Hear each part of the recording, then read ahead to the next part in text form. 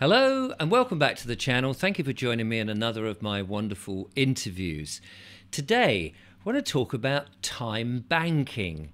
Have you heard of it? Do you know what it is? It's new to me, and I'm very much interested in investigating because anything that gets us out of the rotten system that we're in, where we're being taken advantage of in a debt society, and moving on to something else and stave off those dreadful CBDCs, etc., etc uh, is got to be good. So, my guest today is a lady called Niamh. She's an ex nurse of 27 years and she's also a whistleblower.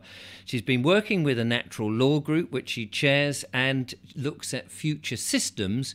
Which includes time banking. Niamh, welcome to the show. It's nice to have you with me. Hello, Richard. Thank you for having me on the show. It's a pleasure to be here.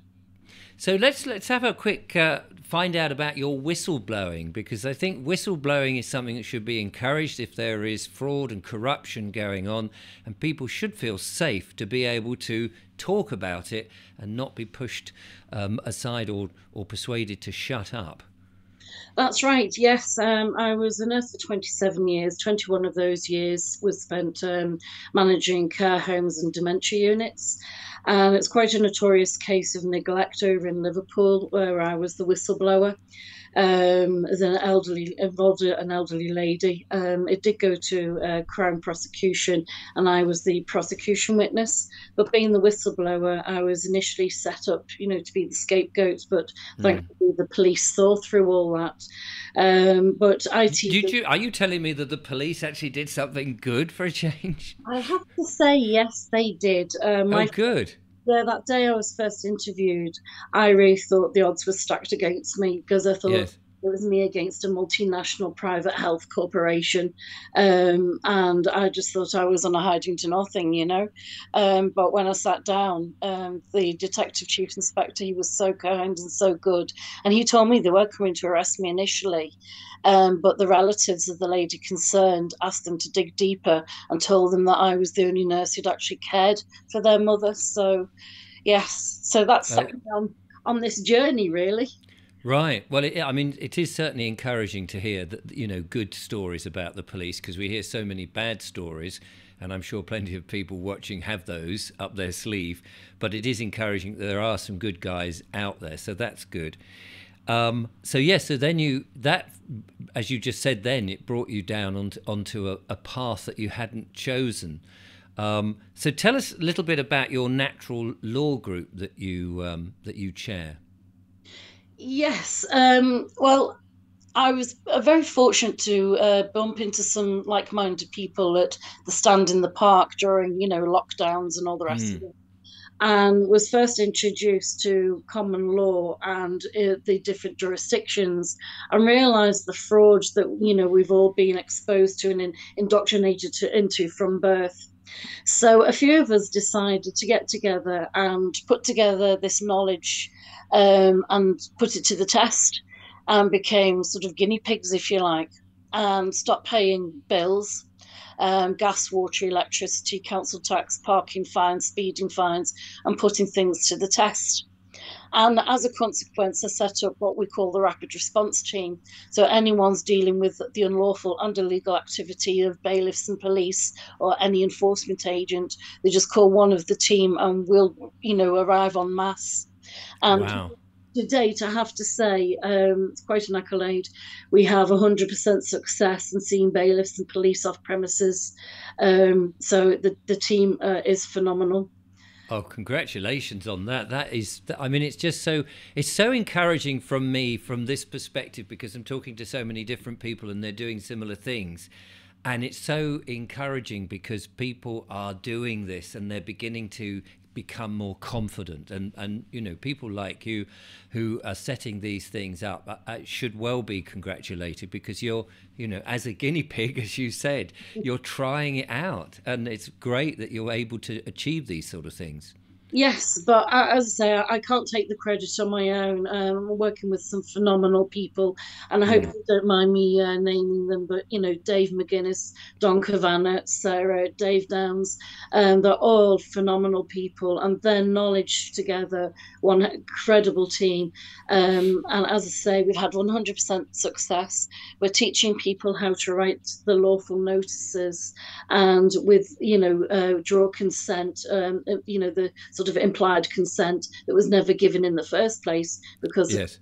fraud runs through and you know negates all contracts anyway. Um, so we're having some success with some of the uh, group members also reclaiming some money as well. Uh, oh, but fantastic. So that's very positive. So yeah, that's the Monday group uh, fighting the current system um, lawfully, um, and that's linked in really with our sort of other sort of support services and systems that we're creating as well with the time banking um, what we call gardens of hope our health team that we call rise um, and our life skills curriculum. So, uh, right that so there's a lot going on. You're a very busy lady then by the sounds of things. Yes. Um, but all all in the right direction which is so great. So so time banking can you explain what that is Yes. Um, well, as we most of us have come to realise now that the fiat currency, you know, it, it's backed by nothing, and we may as well be passing around, you know, sweet wrappers. Uh, yes. Absolute insanity, you know. So we give all our labour and our time to, you know, for these sort of IOU notes and to make other people richer whilst we're just fed crumbs from the table. Well, we all have choices. We have free will and we have choices. So some of us choose not to be in this current system and the anticipated systems of control and surveillance. And we want um, a life of abundance and freedom and peace and unity. Mm. So, what we have done is we're using time as currency. Oh, it's a very strange concept for those who've never heard of it before, because of course we've only ever dealt with currency. Mm. So rather than be paid in currency for the time, we are credited the time into a bank account. So everyone who signs up is automatically credited with 100 hours in their current account. Um, no one can go um, three hours in the negative, in the red, so they have to try and contribute to the hub, to the community, to keep it afloat. Um, for every hour donated to the hub, five minutes is credited to that person's pension account. So the whole idea is to keep the current account low whilst building the pension account. So we pledge our knowledge, skills, and experience, and if we're willing to teach. And we have a directory of services of who has what skills and what geographical areas they're willing to cover. And we have an admin team over different sort of aspects, so sort of domestic um, support, transport services, the health, the actual admin for the time banking itself, and for the gar- what we call gardens of hope for the growing food. So we have different admin teams. Um, the health team, uh, the health is called RISE, which is an acronym for Rediscovering Ancient Healing Practices. I is for inspiring people to take responsibility for their own health. S is for spirituality because we're not just physical beings. And E is for embodiment because we're not just physical beings. And the whole idea is that the RISE team are paid from the community pot. So as people uh, donate hours to the uh, to the hub, as I say, five minutes is credited to their pension account, but five minutes is also credited to the community pot. Then, for instance, the life skills curriculum. Um, I am a keen gardener and I do teach organic growing and permaculture. It just happens to have been a, a skill and a passion of mine, and uh, to sort of de-stress from a very stressful, demanding job. You know, managing dementia units. So, mm. oh, I can imagine. so a very keen, passionate gardener for thirty years. Um, so I have been teaching permaculture and organic growing. And so, say for instance, I was to do a, a lecture, a seminar on permaculture, and I knew that it was going to take two hours to deliver, but a couple of hours to set up and do all the groundwork. So, say three hours, so that's five hours, and then an hour, um, you know, sort of post delivery, consolidating the lecture, if you like. So that would be six hours. And say in the hub, 10 people wanted to attend that lecture. So they know it's going to be two hours. So two hours would come off each of their current accounts. So that would create 20 hours. So for the six hours that I've put in to deliver that, that would be that would come off those 20 hours, leaving 14. Those remaining 14 hours get accredited to the community pot to pay to for the health team.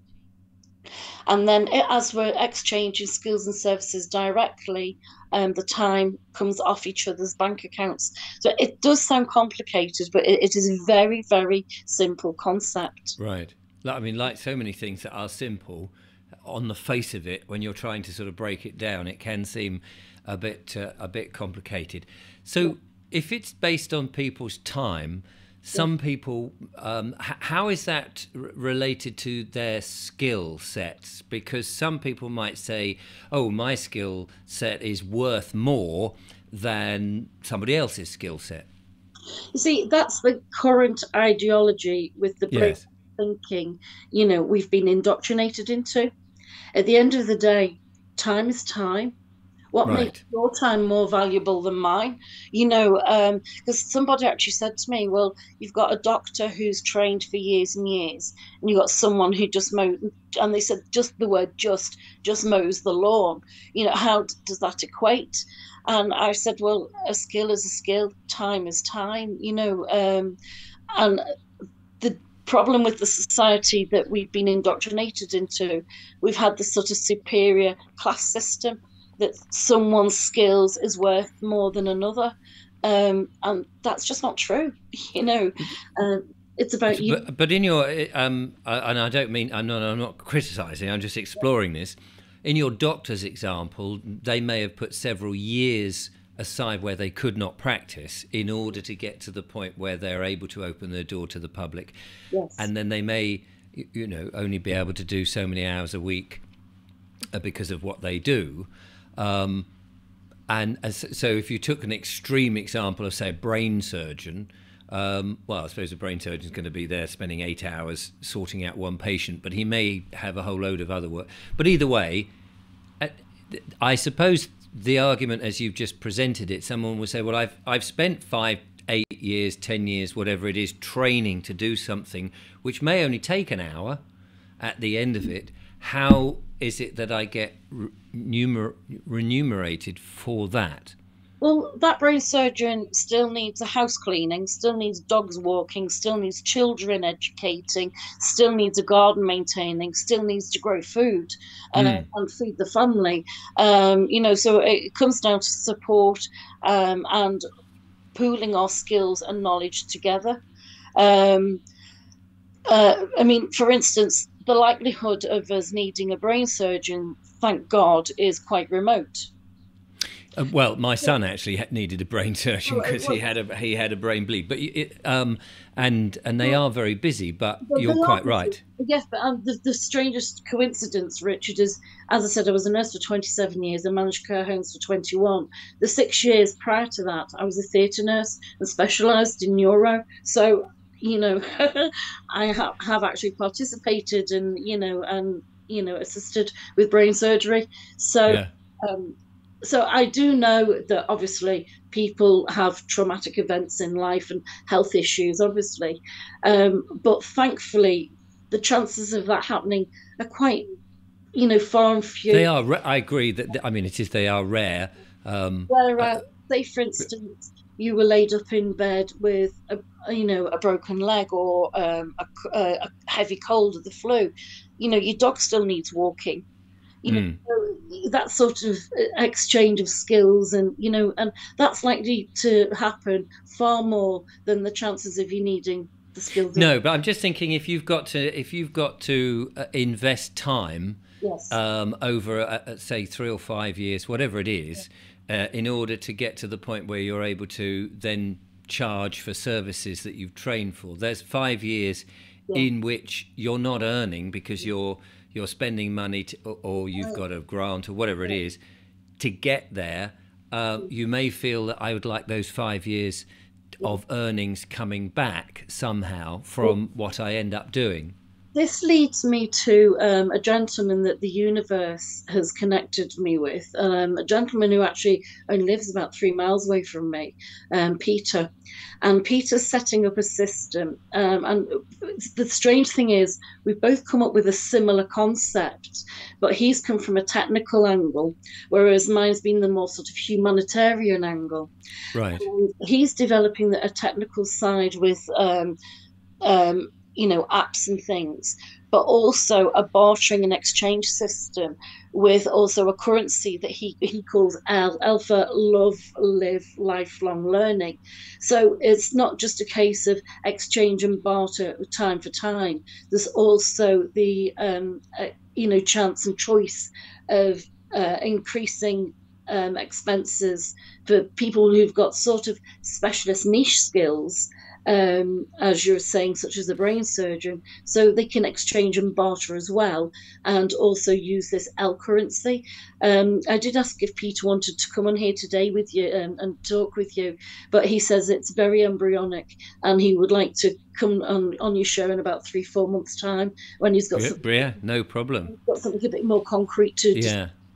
But so we're not just discussing um, the time banking, we are looking at other elements to account for that sort of anomaly that, Yes. quite rightly. I suppose if you've got, I mean, and, and I'm just thinking off the off the top of my head here. If you've got somebody who, who in order, like say, a, a veterinarian to look after animals, still got to go under training. yes. But if you know within your environment that that veterinarian is going to be serving you, presumably, that your um, your your community could support that person while they do their training. Absolutely. and then and then they've agreed that they will of course be able to look after all the animals um, because they've been supported with food and, and all the other bits and bobs that they need um, and and helping with bills being paid whilst they do that very important training. So everybody is supporting one another That's right. that- yes. yes. yeah Well, Peter's system is slightly different to mine, and my, my system with the training, um, you paid to be trained, as I explained before, with your time. But with uh, Peter's system, the actual the students get paid for their time in attendance. So we're still sort of tweaking that, really. right Uh, but it sounds like for long term um, training courses such as medicine and veterinary practice, Peter's system would be far more viable. Right. I mean, the main thing is, it, it, it seems to me that the fact that people like yourself and others are thinking in a more holistic and positive way to how you help people um, and, and paying for um, the things that they need to do or the training they need to do or, or just, as you say, just doing more, um, and, I, and I've just done the same thing by putting just in, but by doing those other services which are equally important, like helping people walk the dog if they can't get out, or mowing the lawn, or painting, or whatever it is, haircuts, uh, something that obviously I have a, a lot of trouble with. Um, those sort of things that, that we do need on a daily, on a, on a, on a certainly on a weekly basis or whatever. Yes. Um, and and the uh, the debt currency that we have is keeping us down and constantly keeping us in that negative loop. So um, I'm I'm very much encouraged that uh, that this sort of thing is is going on. W- what other future? You talk about the the growing and um, the other things. Tell us a bit about those as well. What you're doing with your within your community. Yes, absolutely. We've adopted a strategy that was actually developed down south by a gentleman called Daniel. Um, it's called Gardens of Hope, and it's based on a model by an Indian lady called Vandana Shiva. Um, and the Gardens of Hope concept is that people come together, pledge their gardens for growing food, and also um, preferably um, what we have um, a blitz, what we call a blitz team. So they're going on site and getting people's gardens ready for next season and making sure that they've got all the utensils and everything they need. We're asking people, um, elderly people with garden space and disabled people with garden space to pledge their gardens and teaming them up with able bodied people who don't have garden space so they can support one another. And that concept is very much in its infancy, but is doing very well. Um, we have one gentleman in particular, um, a young disabled gentleman, who was quite depressed, could no longer tend to his garden. It was all overgrown. Um, one of our group knows him so she had a word with him, and he was all for it. And he said if we could get his patio sort of um, usable for him, because it was overgrown with buddleia, if we could get it usable for him, he pledged the last two thirds of his garden space um, for growing uh, fresh fruit and vegetables. And the first day, seven of the Blitz team turned up, and we cleared his patio. Well, the poor man was nearly in tears and oh. enough, and was giving us all chocolates, and you know it was really sweet. You know, really nice. So, and, and presumably they benefit as well from the food that's grown.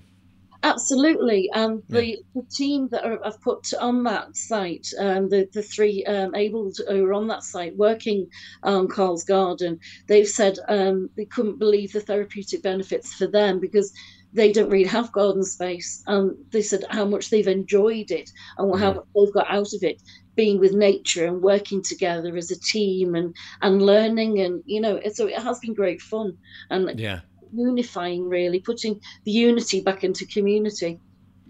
And and and this is quite interesting because we've gone through this very difficult period um, and we may have some more difficulties ahead of course um, but in a way, it it has brought people back together. You know, enlightened people who are thinking, "Hang on a minute. If we carry on on this path that we have, where we're atomized, we're behind screens, we're indoors, we're we're letting the government or the councils do everything for us. We're not taking responsibility.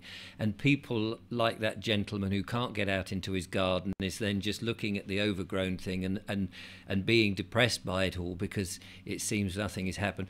It, it's actually opened up a, a silver lining that I think people are beginning to realize wow, what an opportunity to bring back the fun okay, hard work, but rewarding, pride, and, and all those sort of things. Absolutely, Richard. It's it's been great. I mean, um, I say just to see this man's face at the transformation of his patio and in nearly in tears. And mm. I say the people who have put on the team on that site who were worrying about growing food because they know what's coming, you know, oh, what we expect and what we anticipate is coming, and their concern about how they're going to grow food and not having the space and, and putting that together. And they're all supporting one another. And it was Carl who suggested, well, they have a kitty for the team to buy, you know, things on site. Um, so he started a kitty and they've all put in £50 each to buy resources. And we've been sourcing free pallets and um, shipping crates to create vegetable beds and things and, you know, um, looking for old old children's trampolines to turn the you know the hoops into um, polytunnels and that kind of thing. Oh right! Oh brilliant! Yeah. A lot of imagination going on there. You yeah. said you worked in, in care homes. Do care homes have relatively large gardens that could be turned into food sources?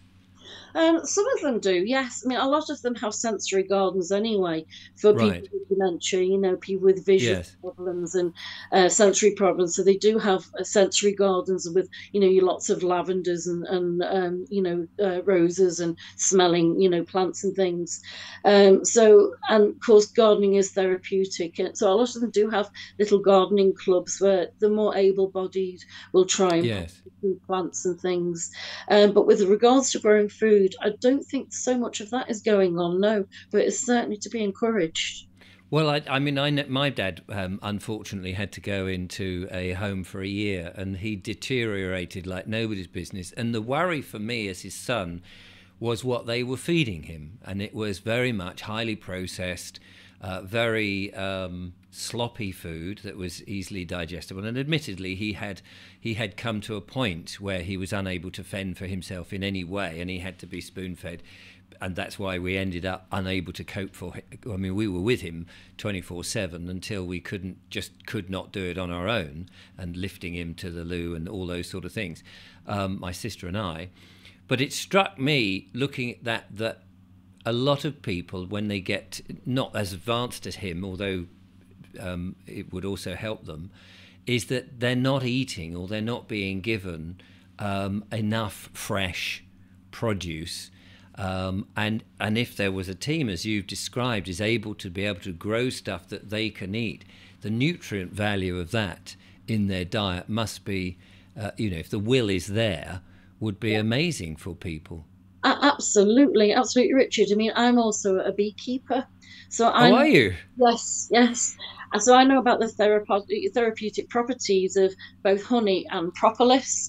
You know, I've used honey as a nurse, you know, on wounds, and I know that the propolis is antiviral and antibacterial. So you know, you've got you have your own medicine in your own back garden. You know, um, I'm not suggesting that it replaces, you know, prescription medicines by any manner of means, but you know, um, if times are going to be difficult and we're going to have difficulty sourcing medicines. Mm. Things, you know, we we need to think about natural natural medicines. As I say, I was giving out the uh, recipe for hydroxychloroquine um, during lockdown and, and during the pandemic, and it's so easy to make. It's unbelievable. It's in citrus fruit peel. You just boil the peel for two hours, and the liquid left is your hydroxychloroquine. It's, wow. Yeah. Simple, simple as that. Um, uh, and this is the thing. I mean, it, what what's encouraging again is this sort of imaginative taking back control and thinking, and it does throw us back to the 1940s during you know the dig for victory and all of that. Us again having the, the gumption to get up and, and work together as as a, a group of people for the better good, rather than th- this sort of somewhat lazy, convenient world that we live in at the moment, where although it is convenient, where's the satisfaction? As you say, seeing somebody smiling because you've suddenly transformed their patio back to the patio rather than that buddleia, which uh, I have problems on a wall I've got here, um, crumbling it away. Um, is it, it, it's so rewarding helping people, and I think we've lost we've lost that understanding of what that really means and how it helps us. Uh, absolutely. You know, we are so disconnected from nature. Um, you know, we forget that we are natural beings. We are part of nature. You know, uh, we look as nature as outside of us. We are we are part of that symbiotic relationship, and we've abused that relationship for so long for the sake of convenience mm. and for you know to benefit and profiting others. Um, and it's time to redress that balance and you know come together and share our skills and knowledge and it's strength in numbers and strength in unity you know. Um, and they say that a, judge, a society can be judged on how it treats its vulnerable. Well need I say more. Look at the homeless you know on the streets. You know, as I say, the abuse and neglect of the elderly, um, you know, need I say more? Whereas the vision that I, I know I particularly have with the time banking system that I, I've been working on is that we grow in numbers with people with sufficient skills and knowledge, we can care for people with complex health healthcare needs in the comfort of their own home. They're not having to give up their homes, their precious pets. We can care for their pets. We can do their cooking. We can do their cleaning. We can do their gardening, you know, all for free. Mm. We can care somebody complex needs 24 hours a day if we all came together in sufficient numbers for free. Yes. That is the kind of society I want and that I want for my grandchildren and for the future generations to come. It is strange that we're in a position in which the um, the councils and the Hello? government. Uh, can you hear me? We lost lost contact there. I think we froze then. Yes. Oh, sorry about that. Um, it's interesting. I was just going to say it's interesting that we're in a we're in this situation where we've almost come to accept, and I think a lot of people like yourself and others, of course, have not come to accept this, that we're being dished out a load of policies from high above, let's say, uh, those that uh, think they're in control, um, uh, which are very anti human. Yes. And you, and you do think, hang on, if I was designing a society that we, we are living in, would I design what we have now with these policies where people are being ta- bedroom tax and um, you know if you ringing up the GP at half past eight and if you can't get through tough or it's three four weeks to get an appointment and and then of course all the, the shenanigans of the, uh, the the recent years of um, this so-called virus that's been going around. Um, uh, if you were to design that and say, I'm going to offer that to the public, would you like to live like this? I think we'd all be going, uh, no, thank you. And yet we've all sort of sleepwalked into this. But it's time we did wake up from that sleep. And the more we hear about the, the more humane ways of living, living with nature, with each other, and, and not gauging everything by money all the time, in which these corporations are sort of doing, um, has has got to be a, a bright and cheerful future for us. Absolutely, Richard. Well, when I discuss this concept with people, the first thing they say to me is they haven't got any time. Right. And of course, if you're too busy with your nose to the grindstone, running on that treadmill, trying to you know drum up these iou notes to pay bills that you don't need to pay. Well yes you don't have time. But if you take yourself out of that system lawfully fight it with the notices you suddenly don't need that money to be paying these fraudulent bills. You suddenly have time. So and then we can come together and create this beautiful world of unity so tell me about these bills because you say that uh, you're fighting against them lawfully. And um, yes. so, what sort of bills are you talking about? Um, well, we're using their own acts and statutes against them, basically, using their own legislation. Um, thankfully, there's so many of them. They've got millions and millions, and you know they shoot themselves in the foot. You know, because you've got one that says that one. Oh, and at that moment, everything goes very quiet. Let's see if the uh, the uh, s- signal will pick up. Are you back there? Sorry, we had we had another fr- we had another freeze. There's a there's a lot of rain in the atmosphere right. at the moment. So yes, so sorry, you broke off when you said that you're using legislation basically against itself because there's huge numbers of it, and and it is interesting when you look at it because one says one thing, and then you look at the other one and go, well, hang on a minute, these are both in conflict with each other absolutely. You know, it's complete nonsense. I mean, of course, we are sovereign men and women, and their acts and statutes have no jurisdiction over us anyway. And, mm. and that's before you bring into the fact it's a treasonous government and the invocation of the, you know, um, Article 61 of the Magna Carta. But you put all that aside, you can fight using that. Um, but the most we found the most successful way has been to use their own acts and statutes against them. So it has been a bit of um, a learning curve having to dive in and educate ourselves as to which acts and statutes are applicable. Um, and once you've learned the basic basic six really which are ma- mainly applicable to it all, and you know, fight the fraud lawfully and put in your schedule of fees. You know how much it's going to cost them uh, for your time in answering their letters, their phone calls, their emails, their illegal warrants, trespassing on on your property, uh, particularly if you've already got a notice of um, removal of implied rights of access on the door. So yeah, it's, it's quite fun and games really. And do, do you have a website that people can find out what you're up to? Actually, no. Um, we we don't. Um, we have a telegram, two telegram groups, because we set all this up when we were knee deep in lockdown. A lot of the group were a little bit, you know, paranoid. Um, yes. So we didn't have, um, we didn't develop a website, um, but we do have telegram groups. We have the us community. That's the time banking. Um, the Cornwall group Di, who is uh, in charge of the Cornwall group, the time banking group, she did set up a website with one of her gang, and it is the Us community. And the whole idea is that the us time banking groups around the country um, tap into that and share their successes and failures. And um, also, you know, if there's a dearth of skills in one area, you know, but a glut in another, how we can sort of support one another uh, with our skills and knowledge. So there is a website set up by uh, Diane in Cornwall. Um, but I have to say, us on the Wirral have been pretty lacking and poor in tapping into that. Right. Well, I'll, I'll, grab that one, that, that one in Cornwall, and put that. I'll grab that after the after we finish recording, and um, put that in the description so people can go and have a look and and um, work out uh, how they you know feel about it. And and with your Telegram group, do you welcome new people coming along? Absolutely, yes. We've got um, the rapid response group on we're Wirral.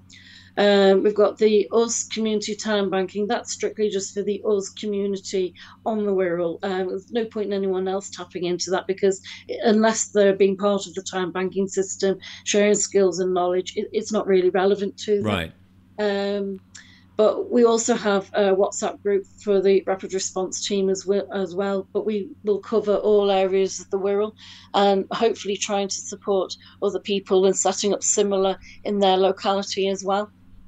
Well, this is the thing, isn't it? I mean, this is what we really need to see: is more and more groups setting up for their area, uh, and so that you have that rapid response for somebody who suddenly, you know, mysterious people have turned up at the door demanding money and all that, and you're a bit frightened, you don't know what to do, and being able to just give a, a, a call instead of to the police to your rapid response, and uh, as you say, you've managed to turn them away, having them scurry away with their tail between their legs, because presumably you're you're doing as I keep hearing from others that you're you're asking questions they cannot answer. That's correct yes. tying them up in not going, you know, where's the liability order or where's this or where's the contract or where, you know, and I'm happy to pay you the money if you can just show me where I signed up for this and those sort of things. That's it. And uh, usually the warrant is illegal. Um, you know, it's not signed or it's on some kind of electronic device. So you just cite the King's Bench ruling from 16th of December 2022. I can't remember the actual reference number right now, um, but that declared all, you know, unsigned warrants illegal. So it has to be a paper document with a wet ink signature and the court seal. So that's the first question we ask. You know. Wow, um, and isn't it amazing that they've they've in a way they've just left themselves so open to to honest everyday people being able to say hold on a minute you're not even operating by their own rules yeah. Uh, it, it, seems they don't even know their own rules and they're just just chances Absolutely, you're quite right, Richard. They don't know their own rules. Uh, first time we had um, a, an enforcement agent turn up here for um, gas and electric uh, meters because we have our own, and I had the rapid response team. We had 13 of the team on the driveway, and we had three lots of police come and go during the day. Uh, one time they turned up with a great big yellow van to arrest us all. And we had one policewoman um, tell us that she's an ex magistrate and that she knew the law. No one knew the law like her. She didn't have a clue what she was talking about. Um, and they were trying to enforce this illegal warrant on electronic device, you know. Um, so we, we put um, Merseyside Chief of the illegal and unlawful behaviour of our own agents. So um, yeah, so since then we've noticed a change in the police behaviour, and they they don't really engage with us. They stand off and just observe, and right. then after about an hour or two, they'll tend to go away with the tail between the legs. So I guess that's the thing. If you don't get angry, if you're very, you know, reasonable, if your attitude is reasonable to these people and you're asking the questions, I suppose the police are there in case there is a um, a, a, fight breaks out or punch ups or you know a breach of the peace. I suppose is the correct terminology. Yeah. Um, and and that's all they can get involved with, other than just being somewhat intimidating by their very presence because they're wearing a comedy outfit um, with all the, you know the bells and whistles that go with it. Um, so yeah, tell me about absolutely. Uh, we've developed a strategy now um, where the homeowner um, don't engage with them. Try not to open the door. Just ring one of the rapid response team, and those first on site will be the ones to to engage. We yes, we nominate two of the group. Sorry, my my eyes been watering, had an eye infection.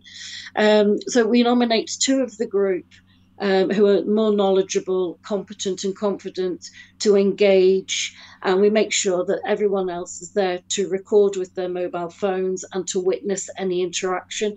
Um, so we try now not to, you know, because obviously initially we were, we were a little bit unprofessional, shouting over one another and a little bit yes. accessible and you know, it was a bit chaotic. Whereas we've now, you know, uh, refined ourselves now and developed a strategy. And that strategy, as I say, has proven to work. We've got 100% success.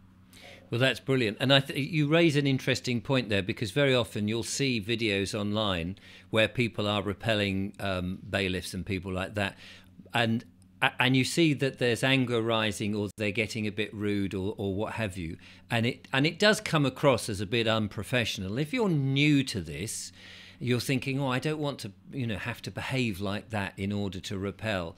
And really and truly you don't need to. You don't need to be you know sort of showing your muscles and swearing at people and telling them to to, to you know using foul language. You can be firm but you can still you can still stay honourable, and and and it's going to work out better for you if you do, presumably.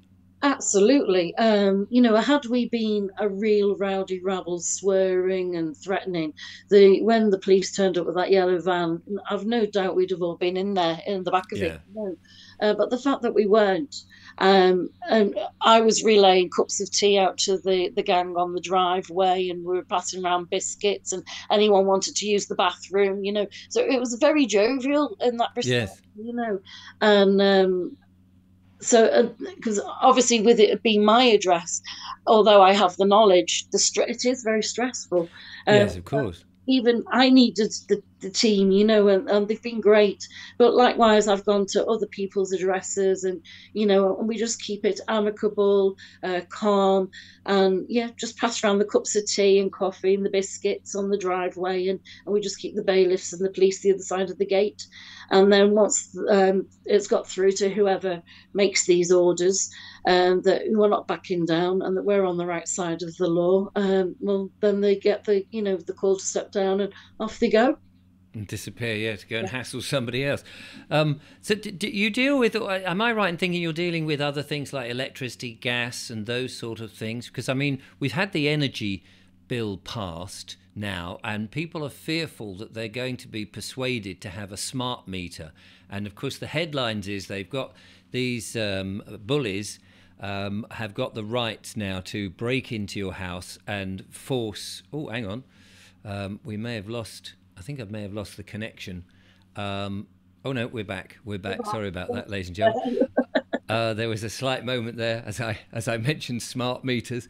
Um, and people are slightly worried now, as I say, that they can break into your house and force you to have one of these. What's the situation with that, with you, with the way that you deal with things? Well, this is one of the reasons why I wanted to come on your show, to be honest, Richard, because the consequences of the energy bill for people really bother me, really bothers me, because I know that people are at risk of losing their homes. And as you say, bullies breaking down the, the uh, doors. But we have to remember that the energy bill, it is legislation passed by the UK government parliament, which is a registered corporation, which has actually went into liquidation on the 12th of September. But by the by, um, it's a corporation, private corporation. So therefore, the legislation it passes is nothing more than company policy. I'm not an employee of the UK government PLC corporation, so their policies don't have any bearing on me whatsoever. Um, but even if they did, because it's a registered corporation, what's called the um, Clearfield Doctrine applies, which means that it is nothing more than company policy. So they have no rights, no authority, and no jurisdiction to impose anything on any man or woman. And that's before we take into account the likes of the affidavit of Baron David Ward um, that st- still stands as fact in law that consent of the governed is needed, and they've never had our formal um, consent. So we just have to remind ourselves of our sovereignty and that our law, natural law, as sovereign men and women is far superior than mere company policy, and they have no rights to impose anything on any of us, and that we stand together and we act lawfully um, and stay strong in numbers and fight this tyranny. Well, there you go. And and this is the thing where if you don't know that, if you're not familiar with this, and this is why it's so important that you know you come on the show like this and other shows and and other people find out about this because people will assume that because it's a piece of legislation uh, that they have to obey it because they are falling into the trap of giving jurisdiction and then allowing people in and, and going, oh golly, I don't want this, but you know it, it's law, not realizing it's no, it's not law, it's legislation, and you're a living, breathing man or woman, and you're not part of the, as you say, you're not an employee of the uh, the PLC, um, and and and sadly, of course, we can't reach everybody, and that's really sad. If people have had it put in, and they and and they listen to this and they go, bloody hell, I've got one of these wretched things. I don't want it. What can they do? Well, they can write um, retrospectively to the energy supplier, to the energy company, and they can cite um, health. Well, the fact that they've not given consent and they've mm. got concerns for their health with the electromagnetic radiation poisoning. And then, of course, there's the fire risk. Um, as we know that they just explode, you know, instantly um, without warning. So um, no consent, no contract, and you don't need you know, have anything forced upon you, whether it be a prepayment meter, a smart meter, or anything else.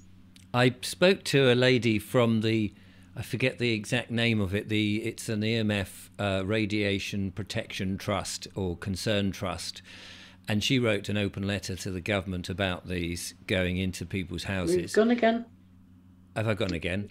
Yeah. Um, hello. Sorry about that. We'll we'll wind up the interview in a second. Uh, the um, but I wrote to this lady um, from this uh, radiation trust who's looking into the problem of these things, and um, she was on the show. And one of the interesting things that she said is that in a freedom of information uh, um, request, she asked the government who was liable if something went wrong, if you had um, problems with um, health as a result of this thing, or if it caught fire or whatever, who was liable? The government, because it's their policy, or the company that fitted it. And she said to me that the government said to her they didn't know. Very interesting. Mm. So, you know, if the government, uh, uh, so in other words, no one's insured this no. No one, no one's taken the liability. So if something happens to somebody, uh, then ultimately it's got to be down to the government whose policy it is to who's enforced other um, businesses to uh, put these things in. Absolutely, yes. Yeah. And uh, that will be a sting that they will not like. Yes, absolutely. So uh, yeah, um, uh, Niamh, it's been an absolute joy to talk to you. I know we've had a few internet connection problems, uh, but don't let that worry you. The, um, I think people will be absolutely um, excited to hear what's going on where you are in the Wirral. Uh, we need more people like you setting up groups across the country doing this and understanding. And of course, I'm fortunate that I'm talking to many of these. I spoke to the Hereford uh, Common Law group the other day. Um, so it's so gr- great to know that this sort of stuff is going on because one of the things that I get from pe- either people emailing in or when I'm doing my talks in person is people feel very isolated. They think it's they're on their own, but yeah. they're really they're not. More and more groups like this are setting up. Absolutely, yeah. People aren't on their own. Um, you know they just need to go and look at their uh, local stand in the park see make sure it's still you know um, they're still meeting and that's how you meet like-minded people. Or go on you know your local relevant telegram and you know social media groups uh, for like-minded and reach out. But there's a lot going on around the country. Um, i know i'm networking with other sort of community organizers. There's a lot going on around the country. Um, so i can connect people with their local group um, if they want to make contact with you, Richard, and um, you know, because I've got lots of contacts around the country now with what I've been doing. Um, but people are not on their own, and they yeah. Know that. But it seems to me, I mean, with with with my show and bringing lots of people like yourself on, I really ought to have a page on my website that lists all these groups and societies um, that are there to help people so that people have got a, you know a central hub or something. But um, yes no. So um, well I, I, dare say there'll be a lot of inquiries so I'll farm them over to you if that's okay. Right but that, that's a great idea you know put it on your website you know as you say a central hub for people to link into to see what's going on in their local area. That's a brilliant idea. Yeah yeah, well, I mean, uh, and if anyone's watching that would care to sort of set up a page that can do that, because I just don't get the time, but that's the thing. Uh, then I can link to that from from the web page, and um, and then you know that sort of thing can come uh, grow, and that would be that would be fantastic. Um, but, with time and growing. yeah, absolutely. Thank you so much for telling us about time banking. I think a lot of people would be interested in that. Also, of course, the uh, the natural law um, stuff, which I think more and more people are beginning to wake up to, which is fantastic. Which must, I mean, um, I I reported the other day and and I've seen it on a number of web pages, council web pages, in which they're they're now so worried they're putting on, you know, oh, you can't use the freedom of the land argument anymore, and the fact that they're putting that on means that they they clearly are getting a lot of these things coming through, and they're trying to push back. But of course, that's the whole point that you can use these arguments because that's the last thing they want you to do. Well, of course, when you know what they say, a wild beast thrashes most in its dying moments, and yes. know that we're waking up to the scam and they're panicking. Yeah. Yeah, absolutely, they are. Niamh, thank you so much for coming on to the show. Um, it's been absolutely wonderful. Um, and I hope the, the audience have got something out of all of this, which I'm absolutely sure. We're reassuring them that we are waking up and lots of things are happening. Um, and of course, I'll link to, I'll get you to send me the, uh, the, the info for the lady in Cornwall. Um, and if you've got links to your Telegram groups or anything that people can come along on, I'll put those in the description. But okay. for the time being, thank you so much, Niamh. It's been absolutely wonderful. I'll be back with more monologues, of course. And uh, until next time, bye bye.